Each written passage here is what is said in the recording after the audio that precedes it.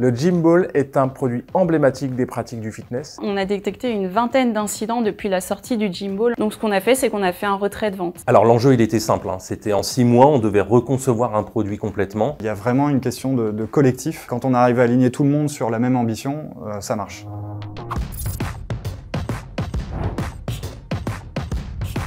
C'est un produit qui n'a pas d'équivalent en usage et que les clients viennent chercher toute l'année. Au moment des faits, économiquement, le Gym Ball pèse pour plus de 15 millions d'euros de chiffre d'affaires. C'est clairement un 20-80 du fitness soft training.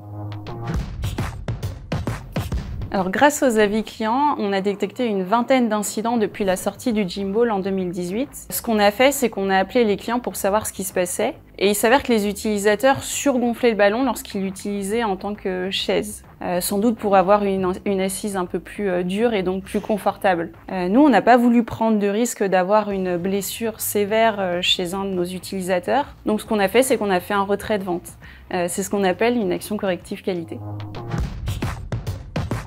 Euh, la décision de Benjamin concernant le retrait de vente euh, du produit est très courageuse, étant donné le poids économique euh, du Jim Ball et sa position de produit héros. La sécurité de nos clients n'a pas de prix. Apprendre qu'une cliente était tombée avec un nouveau-né dans les bras et qu'un autre s'était fracturé le coccyx, c'était clairement insupportable. La sécurité passe avant tout, ce n'est pas négociable. Alors en termes de process qualité, on est d'abord passé par une étape de résolution de problème afin de trouver l'origine euh, du problème. C'est ce qu'on appelle la cause racine.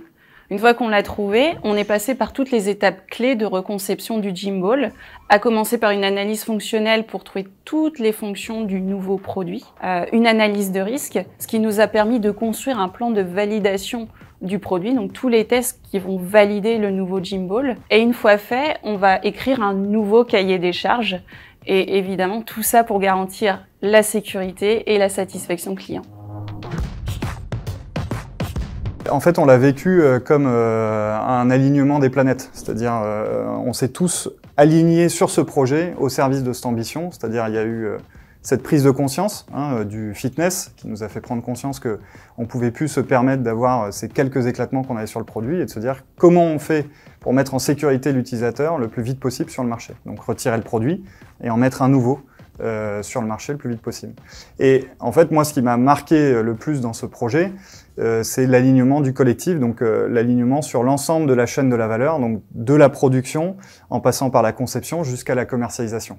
Et là, on a réussi à mettre toutes ces énergies-là au service de cette ambition et on a réussi euh, avec le succès du nouveau, du nouveau Gym Ball en magasin. Le mot qui me, qui me reste en tête, c'est collectif. justement, je parlais d'alignement. C'est comme ça qu'on a réussi à résoudre ce souci-là, c'est-à-dire à se mettre tous ensemble au service du projet et à prendre conscience de l'enjeu. Évidemment, c'est un bon exemple sur lequel on peut capitaliser pour les prochains, euh, les prochains gros sujets, les gros enjeux c'est toujours la même chose, c'est quand on arrive à aligner tout le monde sur la même ambition, euh, ça marche. Alors l'enjeu il était simple, hein. c'était en six mois on devait reconcevoir un produit complètement et euh, faire le gimbal le plus résistant du marché. Alors moi ce qui m'a le plus marqué, notamment dans la relation avec le service qualité, c'est le côté solution co-builder. Quand il a fallu se poser la question euh, de, ce qu'on allait faire des, des gymballs qui, restaient, qu'on ne commercialiserait pas, ben, on s'est ouvert les chakras et on est allé vers des filières de recyclage qui finalement fournissent une, superbe opportunité pour euh, nos produits demain, à savoir y introduire du composant recyclé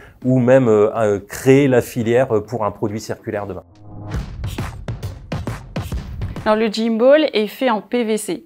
Le PVC, il faut savoir que c'est un plastique très dur à recycler. À titre d'exemple, en fait, il n'y a que deux prestataires de recyclage en Europe un aux Pays-Bas et un en Espagne. Alors la première étape qu'on a fait lors du retrait de vente, c'est de rapatrier tous les Balls des magasins en entrepôts, les entrepôts qu'on appelle CAC. On a pu recycler à peu près 50% de nos produits. Une fois arrivé chez le prestataire, le produit était broyé en granulés et ensuite revendu. Et donc, on va pouvoir retrouver nos Balls dans des tuyaux d'arrosage, dans des semelles de chaussures ou encore dans des sols PVC.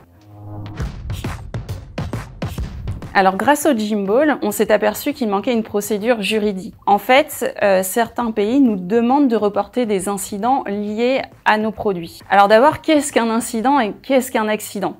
En fait, un incident, c'est quand un utilisateur se blesse gravement à cause de notre produit. Donc par exemple, euh, je me balade et le cadre de mon vélo se casse. Là, c'est un incident. Un accident, c'est à peu près la même chose, sauf qu'en fait, l'origine n'est pas liée à notre produit, mais une cause externe. Donc ce que j'ai fait, moi, c'est que j'ai travaillé avec l'équipe juridique pour créer cette procédure afin de reporter les incidents aux autorités.